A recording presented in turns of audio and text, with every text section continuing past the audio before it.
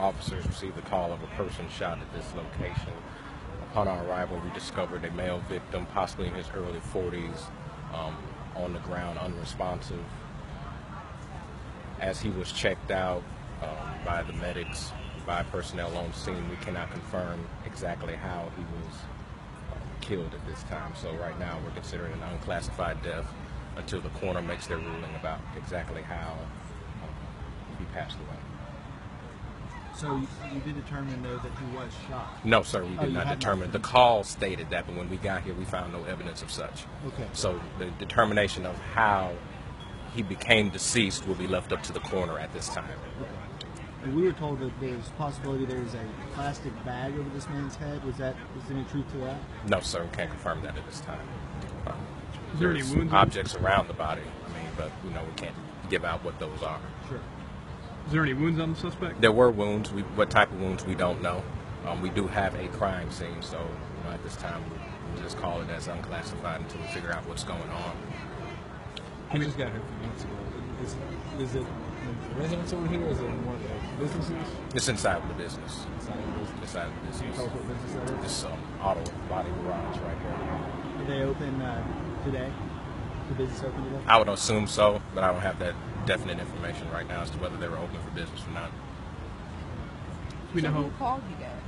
Was it like someone came in, business notice that the man? We just got the call that someone was shot at this location, and when we arrived, we saw that the person was lying on the ground but could not determine um, their cause of death.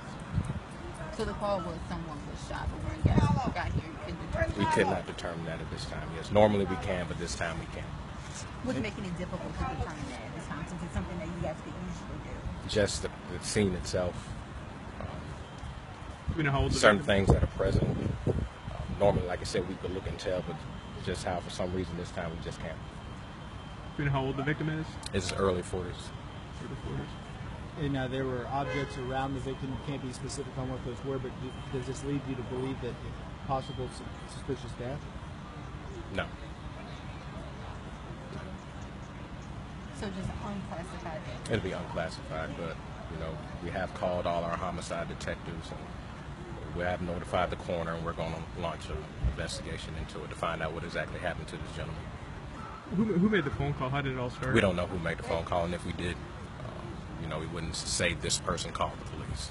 We also noticed here an officer on scene, obviously um, connected to what's going on. How difficult is it for officers to have to do a job and still be connected in a way to something as difficult as this? It's a reality that you live with. Is that one day it just might be somebody you know and love. As we always state, that a lot of our officers have family members who live in the city limits of Birmingham, who live in the area of Birmingham.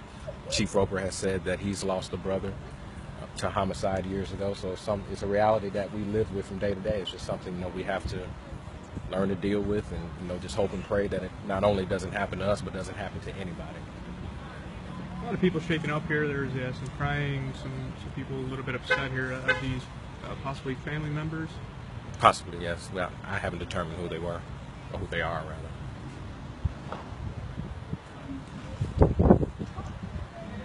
Okay. Thank you. And once we know the cause of death and all that, we'll let y'all know. All right.